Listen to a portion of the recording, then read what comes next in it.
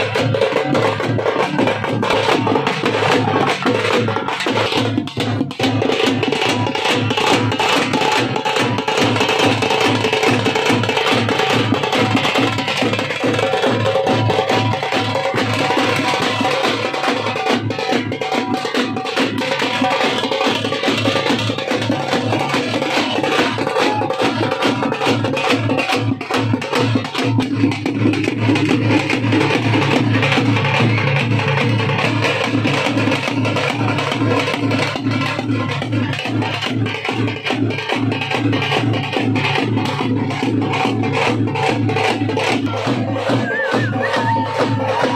you.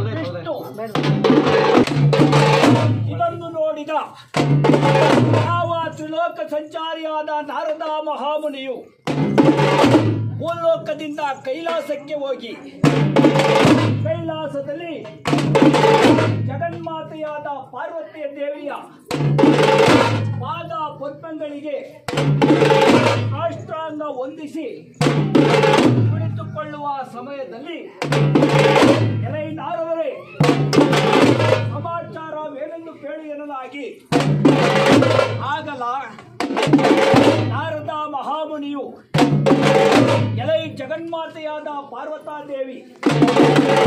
ಇದೋ ನೋಡು.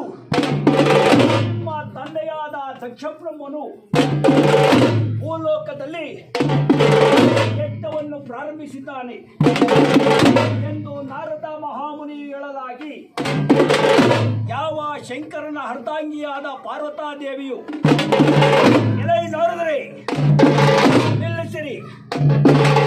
ಎಂದು ಹೇಳಲಾಗಿ ಆಗಲ ಜಗನ್ಮಾತೆಯಾದ ಪಾರ್ವತಾದೇವಿಯು ತನ್ನ ಪತಿಯ ಪಾದವನ್ನು ಬಿಡಿದು ಏ ಸ್ವಾಮಿ, ನನ್ನ ಪತಿದೇವ ಶಂಕರಮೂರ್ತಿ ನೋಡು.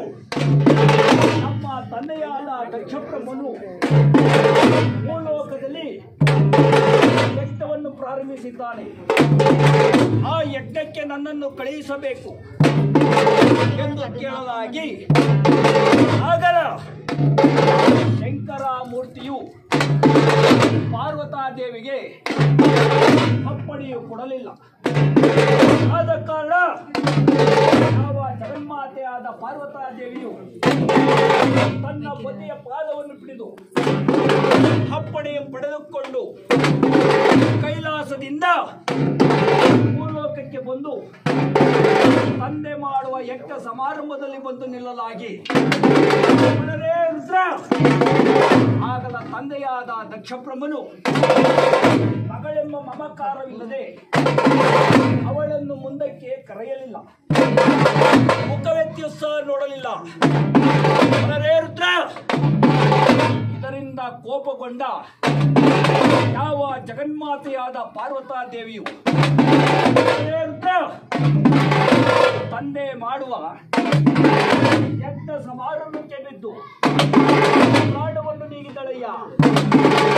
ರುದ್ರ ಈ ಸುದ್ದಿ ನಮ್ಮ ಶಿವನಿಗೆ ಮುಟ್ಟಲು.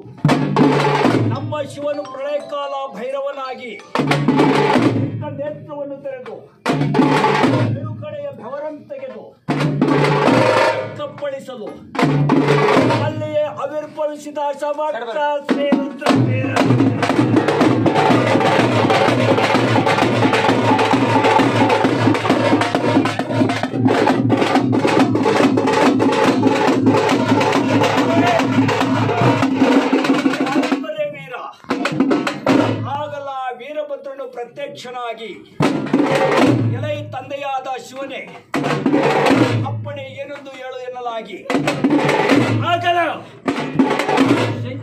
ಮೂರ್ತಿಯು ಎಲೈ ವೀರಭದ್ರ ಕುಮಾರ. ಭೂಲೋಕಕ್ಕೆ ಹೋಗಿ ದಕ್ಷನು ಮಾಡುವ ಯಜ್ಞ ಸಮಾರಂಭದಲ್ಲಿ ಆವಿರ್ಭಾಗವನ್ನು ಕೇಳು ಎಂದು ಹೇಳಲಾಗಿ ಆಗಲ ವೀರಭದ್ರನು. ದಕ್ಷನು ಮಾಡುವ ಯಜ್ಞ ಕೊಂಡದ ಮುಂಭಾಗದಲ್ಲಿ ಬಂದು ನಿಂತು ಕೆಲವೋ ದುರ್ಣ ದಕ್ಷ ನಮ್ಮ ತಂದೆಗೆ ಸೇರಬೇಕಾದ ಆವಿರ್ಭಾಗವನ್ನು ಕೊಡು ಎಂದು ಕೇಳಲಾಗಿ ಆಗಲ ದಕ್ಷನು ನಿರಾಕರಿಸಿದ ಕತ್ತಿಗೊಂಡ ವೀರಭದ್ರನು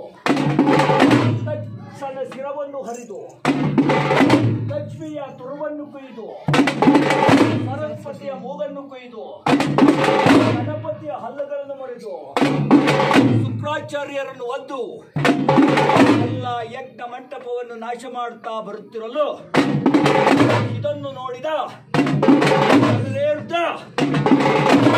ತಕ್ಷಣ ಹೆಂಡತಿಯಾದ ಪ್ರಸೂತ ದೇವಿಯು ವೀರಭದ್ರ ಕುಮಾರ, ಇದೊಂದು ನನಗೆ ಮಾಂಗಲ್ಯ ಭಿಕ್ಷವನ್ನು ನೀಡಿ ಎನ್ನಲಾಗಿ.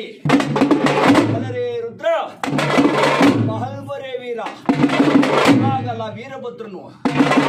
ತಕ್ಷಣ ಹರಿದ ಸಿರಕ್ಕೆ ಬದಲಾಗಿ ಕುರಿಯ ತಲೆಯಮ್ಮಿಟ್ಟು ಬಳಲದೆ ಲಿಂಗ ಲಿಂಗವೆಂಬ ಶಬ್ದವನ್ನು ತಪ್ಪದೇ ನುಡಿಸಲಿಂಗ.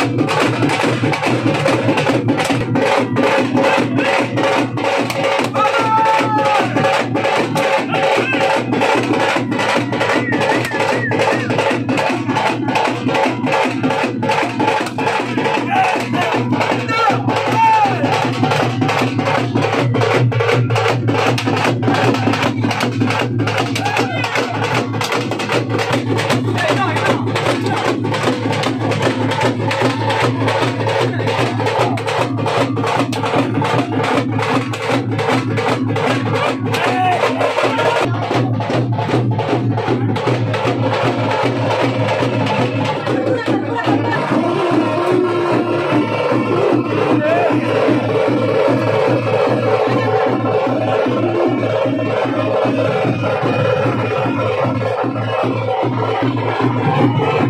you.